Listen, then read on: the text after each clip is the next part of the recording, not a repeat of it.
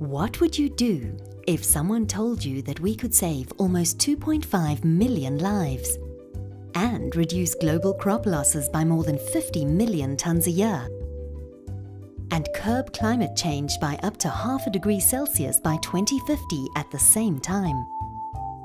Would you act? Of course. Welcome to the Climate and Clean Air Coalition to reduce short-lived climate pollutants.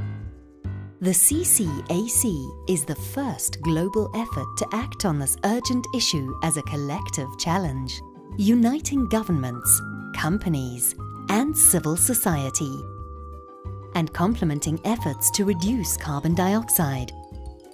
After more than a decade of scientific results, a powerful case for fast action has been built that can no longer be ignored. What are short-lived climate pollutants?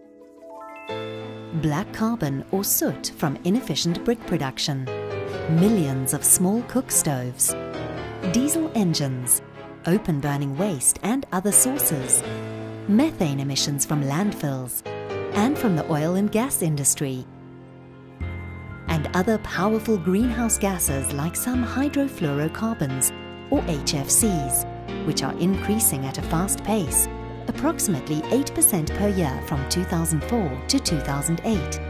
But won't reducing these pollutants cost too much? Most reduction measures could actually save money.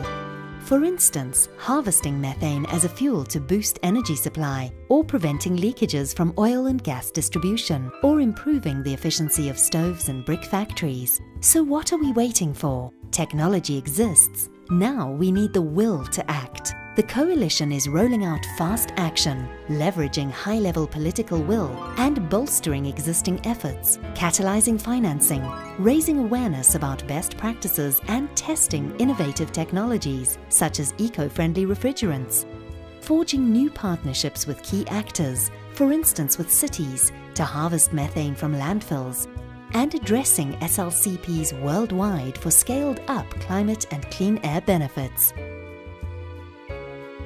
The coalition is growing rapidly, with new governments, international and non-state partners and private sector companies coming on board. Dangerous climate change cannot be avoided without rapid and deep cuts in carbon dioxide. But fast action on SLCPs offers complementary quick wins in the short term, globally and especially in sensitive regions like the Arctic. So, if you were told you could save lives, boost food security, and reduce global warming by up to half a degree Celsius over the next few decades, what would you do?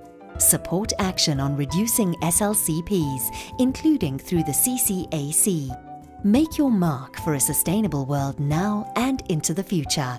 Learn more about the CCAC at www.ccacoalition.org.